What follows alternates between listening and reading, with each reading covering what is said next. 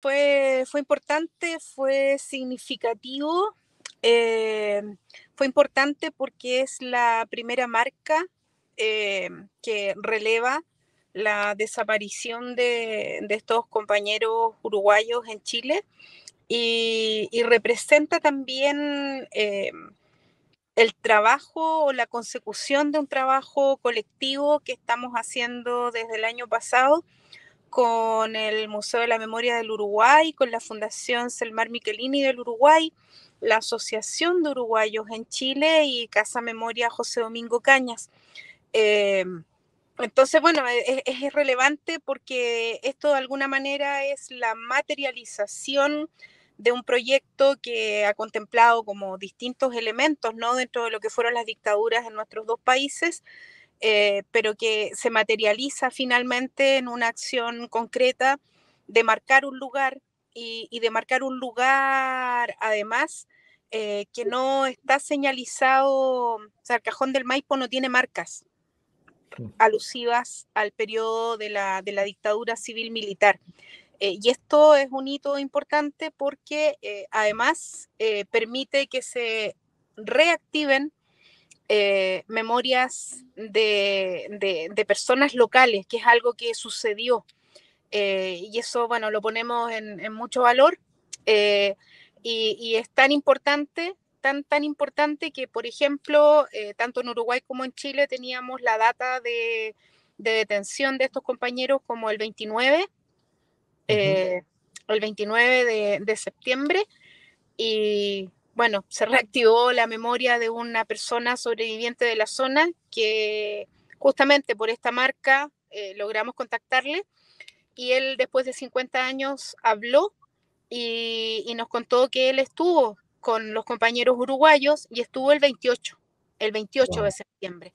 Entonces, eh, estas marcas de memoria también permiten reactivar las memorias y además eh, otros sobrevivientes, otras sobrevivientes eh, también pueden hablar, recordar, ¿cierto? Y bueno, se arman procesos que son tremendamente interesantes y necesarios. Marta, eh, en el marco de esto es, tremendo, ¿no? Porque lo que nos cuentas es, tan potente como esto, inclusive las fechas, los datos de lo que sucedió, reestructurar un poco esa historia de lo que pasó en esos momentos. ¿Qué es lo que sucede o qué es lo que sucedió con los procesos de justicia? ¿Hubo procesos de justicia para condenar a los responsables de estos secuestros y estas desapariciones? Sí, sí, hubo proceso de justicia con penas bastante ridículas, debo decirlo, que bordearon entre los 5 y los 6 años. Eh, y eh, debo decir que quienes estuvieron a cargo del operativo de secuestro, eh, de hecho, el, oficial a cargo murió, el oficial Durruti murió en, la completa, en el completo silencio. Impunidad también, porque no pisan la cárcel, ¿cierto? Pero no fue capaz de decir qué hicieron, en este caso, con los compañeros uruguayos a quienes se les pierde el rastro en el regimiento eh, que estaba en, en Puente, ¿no? Pero Durruti se muere sin decir qué hicieron con ellos. Tremendo, tremendo y me quedo muy impresionado, Marta, con lo que, con lo que me, has dicho en relación a estas condenas eh, irrisorias, ¿no? Digo, realmente es, casi un papelón, ¿no? Siempre la, presencia de justicia es fundamental, pero cuando hay condenas así, parece casi un chiste, ¿no? Para pensando en lo que significó los procesos de persecución, secuestro, tortura en muchos casos, ¿no? Sí, sí, bueno, pero esa ha sido la, lamentablemente esa es la, historia que, tenemos y que seguimos teniendo, ¿no? Eh, donde los perpetradores siguen pidiendo beneficios. Eh, hace poquitos días ayer, ¿cierto? en el Tribunal Constitucional se estaba viendo a un ex agente eh, de, de, la CNI que estaba pidiendo también eh, la anulación de la causa donde él está involucrado por un crimen que se cometió en Concepción en el año 1984, donde se asesinó a siete compañeros. Entonces, esto ha sido una constante en Chile, convivimos con la impunidad. Eh, Isabel, eh, bueno, te damos paso, más allá del saludo del inicio, para que nos cuentes un poco tu análisis de qué implica este tipo de este tipo de homenajes, este tipo de, encuentros, digo, pensaba en esto de la construcción de una fecha diferente inclusive de la que se decía, digo, qué, importante que es en la construcción de esto de las memorias, eh, pensar en este tipo de encuentros y homenajes, ¿no? Sí, bueno, hola Gustavo, hola Marta, eh, muchas gracias por esta nota. Bueno, yo creo que como venían diciendo antes Karina y Julio, eh, para pensar el presente es necesario hacerlo en clave regional y no solamente hacerlo en clave de las experiencias locales, siempre con un interjuego entre lo local y lo, regional y lo global. Y, y, para eso hacemos memoria, porque hacemos memoria para poder comprender el presente y articular luchas de transformación social. Ese es el sentido, al menos, que, que nosotras como equipo y como GT le damos al, al hacer memoria. Y en este sentido, esta, esta práctica de memoria en diálogo, ¿no? que pone en diálogo experiencias de Chile con experiencias de Uruguay, eh, es parte de este proceso de poder comprender articuladamente las experiencias represivas de Chile, de Uruguay, bueno, también están los otros países vecinos y de la región, pero en este caso de Chile y Uruguay, eh, y de poder comprender que mm, y visualizar y reconstruir estas historias em, en conjunto, ¿no? Eh, ¿Cuáles son las experiencias represivas de chilenos, chilenas en Uruguay, de uruguayos, uruguayas en Chile, en Argentina, en Brasil, ¿no? Bueno, está la Operación Cóndor, hay un montón de operaciones transnacionales, ¿no? Pero también diálogos de experiencias bien puntuales eh, y también de resistencias y de apoyos y de solidaridad, porque nos permite comprender las redes de represión, pero también nos permite comprender y conocer las redes de resistencia y de solidaridad, que son tremendamente importantes. Eh, en este marco, entender esto del 40-50-50 que estuvimos eh, realizando eh, diferentes eventos, encuentros, charlas, debates a lo largo del año en Claxo, bueno, se entiende la, la centralidad de algo así para, para entender desde el dramatismo de un plan cóndor, pero también para poder hacer lecturas más complejas, bien interesantes en ese sentido, eh, Isabel. Eh, y pensaba, eh, para preguntarte, en tu caso, Marta, digo, este es un ejemplo bien concreto ¿no? de, la lógica del plan Cóndor, ¿no? de, persecución en diferentes países, pero con el mismo objetivo, ¿no? destruir este, otras formas de pensar. Sí, sí, sí. Bueno, recordar que, Chile en ese momento tenía a muchísimos extranjeros, muchísimos extranjeros que venían, eh, varios de ellos, eh, la gran parte de Latinoamérica, eh, justamente, por un lado, arrancando de las dictaduras, ¿cierto?, que se inician en Brasil en el año 64 en el contexto del Plan Cóndor, por lo tanto había mucho brasileño, brasileña en Chile, y después empieza también a haber un éxodo de uruguayas, uruguayos en el contexto de la situación represiva que se empezó a vivir antes del golpe de, del 27 de junio del 73 en Uruguay, eh, como también habían bolivianos que estaban acá eh, y que vienen, por un lado, como refugiados políticos, pero también vienen a contribuir a esta experiencia de gobierno socialista de Salvador Allende y en ese contexto es que el Plan Cóndor les encuentra acá.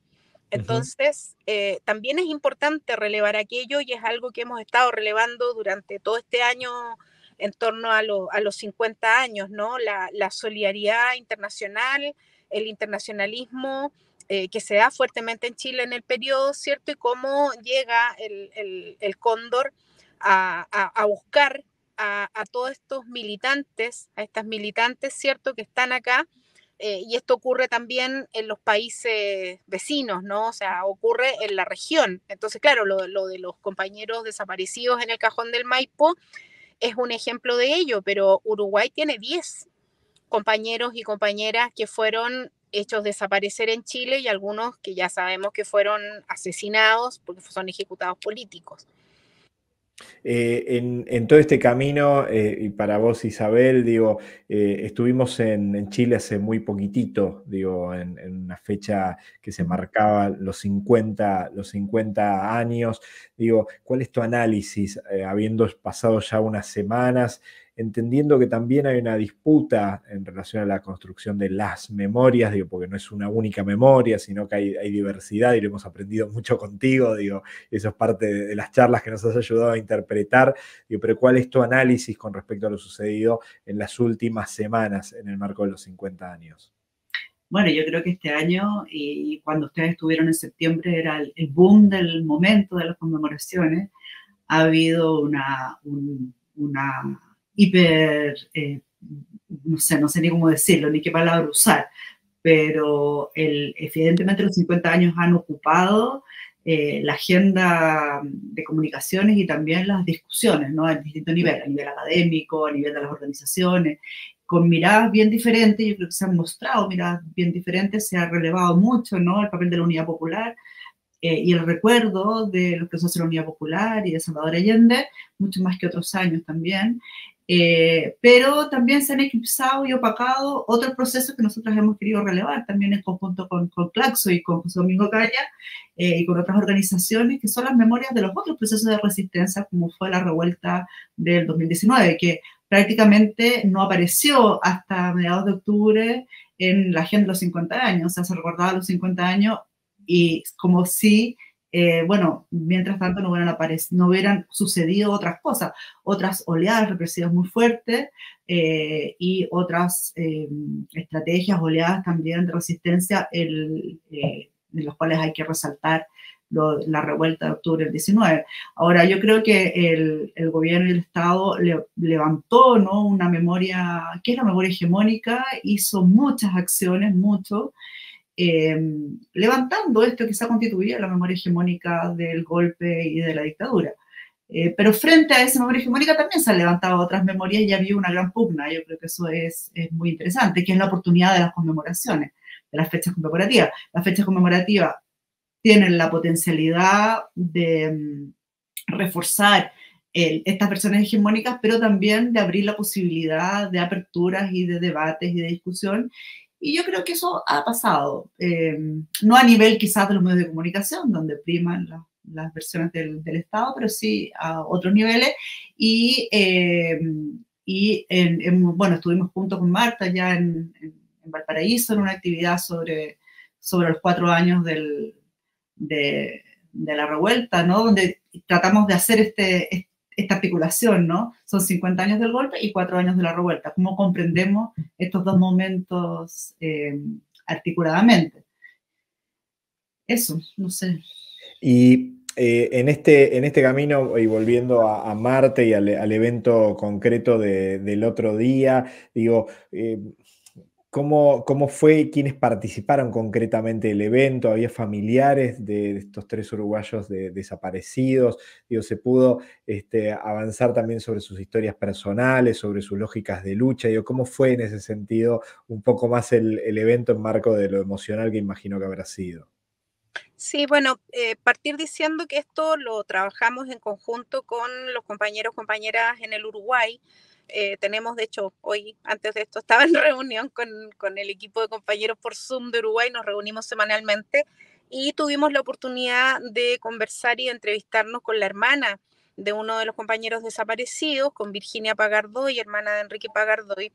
Y nuestra, nuestra forma de trabajar esto para que se comprenda es que pedimos que Uruguay diseñara la placa que se iba a instalar eh, y ese diseño eh, se trabajó conversando con justamente con Virginia, con la hermana de Enrique, para preguntarle a los familiares y que ella también pudiera indagar con otra familiar qué quisieran ellos y ellas como familia que eh, estuviera, o sea, cómo se imaginaban esto, así parte esto, ¿no? Y bueno, se diseña la, la placa, eh, originalmente la íbamos a instalar en una roca, finalmente la cosa fue creciendo y lo dijimos en el evento, nos atrevimos a soñar y decidimos hacer un monolito, hacer algo más grande. Eh, y bueno, la familia, las familias no pudieron viajar, pero eh, se reunieron, bueno, hubo un evento en, en el Museo de la Memoria del Uruguay para poder ver el streaming del del, del, evento en cuestión Y en, ese, en esa junta que se hizo en el Museo de la Memoria del Uruguay estaba Virginia Pagardoy, la hermana de, Enrique, con su hijo. Eh, y aquí pasó algo muy interesante y algo muy potente que, nos emocionó y nos sigue emocionando.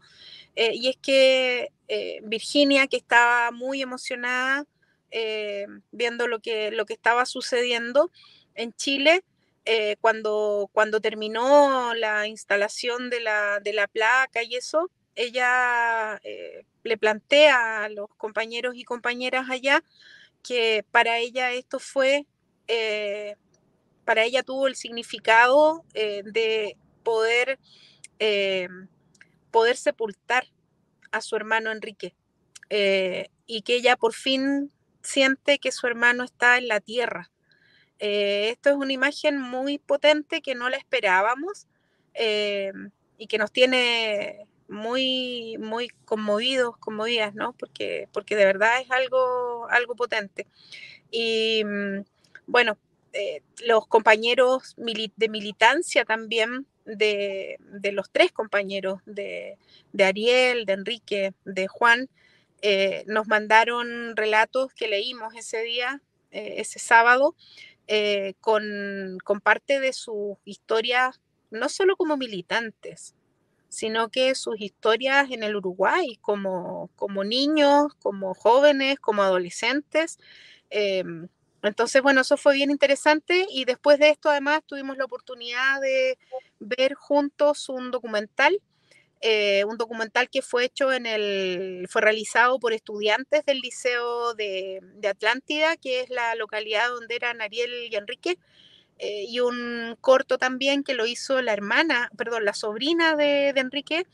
Eh, y ese corto habla de, lo, de los tres. Entonces hubo una reconstrucción de historias, no solamente de militancia, sino que de vida. Y bueno, esto que pasó con, con Virginia, eh, de, por fin ubicar un lugar en donde ubicar espacialmente a su hermano y sentir que su hermano está en la tierra, es algo que, nos tiene, nos tiene muy, realmente muy conmovidos, eh, porque no lo esperábamos y, también nos alegra que, este, este acto colectivo eh, aporte en un poquito en, en, la reparación de alguna manera de, de, esta, de esta familia, ¿no? Y bueno, acá en Chile vinieron eh, uruguayos, participaron, eh, uruguayos, uruguayas, algunos de ellos que estuvieron presos con los compañeros en el estadio, con, con, los que sobrevivieron de este grupo del Estadio Nacional. Y también estuvieron viendo la transmisión otros compañeros sobrevivientes que les conocieron y que eran también militantes del movimiento Tupamaru eh, y que eran parte, digamos, de la, del grupo acá en Chile. Eh, y ellos también estuvieron siguiendo la, la, transmisión. Así que, bueno, fue un evento que se realizó acá, pero donde estuvimos conectados, eh, conectadas por, por, las nuevas tecnologías, ¿no? Por, por el streaming. Excelente, Marta, y obviamente eh, entonces el, recuerdo en lo que fue este homenaje a Ariel Arcos, Juan Antonio Pavaschuk y Enrique Julio Pagardoy, este, que bueno, fue este homenaje realizado 50 años de la detención y desaparición en el cajón del Maipo en Chile. Eh, Marta, te agradecemos eh, enormemente por, este contacto, por la posibilidad de traernos este, también estas imágenes eh, hermosas y bueno, y por la posibilidad de hablar de lo, de lo que sucedió en ese momento, pero que nos da la posibilidad de, enmarcarlo en la lógica de las memorias, de entender eh, también los 50 años del comienzo de esa brutal dictadura en, Chile. Gracias por este encuentro. Eh, te despedimos a ti, nos volveremos a encontrar muy pronto, pero gracias por este encuentro. Gracias a ustedes. Y a Isabel Piper la, consultamos porque vamos a aprovechar también para consultarle sobre otras cuestiones, este, Isabel, porque eh, digo, realmente enmarcado en, esta temática que decíamos recién, eh, es imposible no preguntarte por este nuevo proyecto de constitución chilena eh, de la derecha. Vimos con mucho horror unas noticias que llegaron de allá que realmente hablan de una constitución que enmiendas referidas al aborto, a la expulsión de extranjeros, eh, a la prisión domiciliaria que terminaría favoreciendo a represores condenados. ¿Qué pasó, Isabel, de ese proyecto y ese texto constitucional no aprobado a llegar a esta derecha que, que hace una propuesta de constitución brutal? Bueno, si yo tuviera respuesta para esa pregunta, es lo que nos preguntamos todos acá, ¿no? ¿Qué pasó? ¿Qué pasó? Y, y, cómo llegamos a esto, ¿no? Justo, justo hoy estaba terminando de leer un libro de testimonios de, de brigadistas de salud que participaron durante la revuelta y, y, y, continuaban, ¿no? Porque eran estos, muchos de ellos después. Y, y todos ellos se decían, bueno, o sea, pensábamos que estábamos en una, haciendo la revolución Luego, bueno, nos conformamos con la nueva constitución y, y, ahora qué, ¿no? O sea, a cuatro años de la revuelta y después de esa experiencia, ¿no? De haber combatido la represión en la calle, de haber puesto el cuerpo, el alma, ¿no? Luchando, eh, nos encontramos con, con, esto y la verdad es que es muy, muy difícil de entender. Sino también, eh, eh, de todas formas hay que considerar que que bueno, que esta derecha, ultraderecha o esta derecha conservadora, esta derecha pinochetista, ¿no? Esta élite empresarial también, ha estado presente siempre y quizás a veces toma, eh, se guarda silencio, ¿no? Eh, y se escuda o se esconde detrás de sus propias acciones y comodidades, y sin embargo ahí está eh, trabajando muchas veces eh, desde, desde espacios que son menos visibles para nosotros y nosotras, que estamos en la calle y pensando y, y sintiendo ¿no? que tener a millones de personas en la calle significa que esas millones de personas piensan como nosotras. Y efectivamente se mantiene, ¿no? La, eh, me acordaba del, el plebiscito en 1988, donde se Em, votaba que sí a la continuidad de Pinochet en el gobierno o no, y al llamar a, elecciones libres, el no, que era no a Pinochet, ganó no por muchos puntos, por un, creo que si no me equivoco, un 54% o algo así. Y ese porcentaje de una derecha pinochetista que estuvo dispuesta a votar por la continuidad de la dictadura después de 17 años, ¿no? En, en un momento en que estábamos ¿no? con un sistema represivo y dictatorial encima, hay más, más de un 40% de la población que quiso seguir con ese sistema en ese momento. Entonces, si uno ve esos, esos votos, ¿no? ahí están, ¿no? ahí está esa derecha que ha permanecido, que ha seguido aquí. Lo que viene a preguntarse qué pasó con esa derecha eh, durante el plebiscito, el otro plebiscito, ¿no? El, el de transformar pero, pero evidentemente es una derecha y es una élite empresarial y son quienes, los sectores que gobiernan, los gobernadores de facto, que siguen intactos y que siguen ahí intactos a pesar de todo. Isabel, eh, en el marco de, de los datos concretos, ¿en un mes y medio se vota este texto constitucional? En diciembre. En diciembre. en diciembre. ¿Es un voto obligatorio porque es una reforma constitucional? Es un voto obligatorio porque se transformó eso, se instaló el, el voto obligatorio eh, después del, de, del plebiscito, de, del otro plebiscito. Es algo nuevo que se había transformado en Chile. Fue okay. obligatorio, después se transformó en voluntario y ahora es obligatorio. E Isabel, digo, ¿hay alguna encuesta, hay algún dato que esté marcando si esto goza de cierto apoyo popular o, o no, este texto constitucional? Eh, no sé si lo quiero saber. bueno, estamos recién, eh, hay, hay, eh, hay muchos sectores con fuerza que lo rechazan abiertamente, pero también hay sectores que lo aprueban. Yo creo que es muy variable, salen encuestas que dicen que ganaría el rechazo y que sin embargo el apruebo ha ido ganando espacio porque recién se está eh, dando curso al texto completo, ¿no? O esta, en, esta, en esta fase, en esta segunda intento constitucional ya no hubo una convención constitucional como la otra vez, hubo una comisión de expertos y de expertas que después fue sometida a modificar, que el texto que ellos y ellas hicieron se sometió a modificaciones por un sector elegido, ¿no? Liderado, donde ganó y tenía mucha fuerza la, la ultraderecha, y se, ahora volvió a la comisión de expertos y expertas, donde consensuaron, en comillas, porque lo que dicen muchos expertos y expertas es que no se logró llegar a un consenso, y ahí se está emanando este nuevo texto constitucional que está recién, ¿no? que, que todavía no, eh, no ha sido como suficientemente analizado y trabajado. Bueno, los sectores oficialistas ya dijeron que iban a ir por, por el rechazo, lo cual no deja de ser importante. Y hay que ver, yo no lo doy, no doy por ganada ninguna de las opciones. Creo que hay que hacer un trabajo y una movilización muy fuerte y una toma de conciencia de que no da lo mismo. O sea, claro, es súper paradójico porque eh, rechazar esta constitución implica seguir con la constitución del 80. Entonces, es decir, preferimos la constitución del 80 porque el gobierno ya ha dicho que no va a ir por un tercer proceso constitucional a pesar de que es un mandato popular. Entonces, es un mandato popular que sigue pendiente. Me imagino que el próximo gobierno debería volver a, a, ponerlo en juego. Y también hay mucha gente que dice, bueno, ¿hasta cuándo vamos a seguir con esto?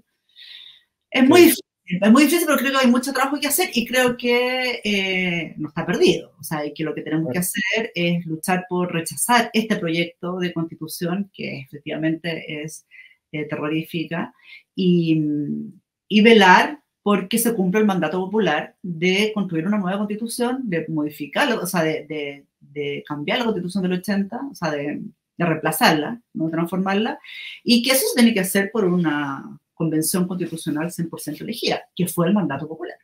Tal cual. Qué complicado, Isabel, eh, qué preocupaciones nos ha traído, pero bueno, este, arrancamos con, esta importante noticia y muy conmovedora de, este homenaje a desaparecidos uruguayos eh, en Chile, pero era imposible este, no, preguntarte y que nos ayudes a pensar y a traernos también ahí el dato de tu análisis bien concreto de lo que está sucediendo eh, en el marco de, este nuevo proyecto constitucional que nos preocupa y mucho. Así que supongo que dentro de un mes y medio estaremos hablando nuevamente para ver por dónde va la, por dónde va la cosa, Isabel.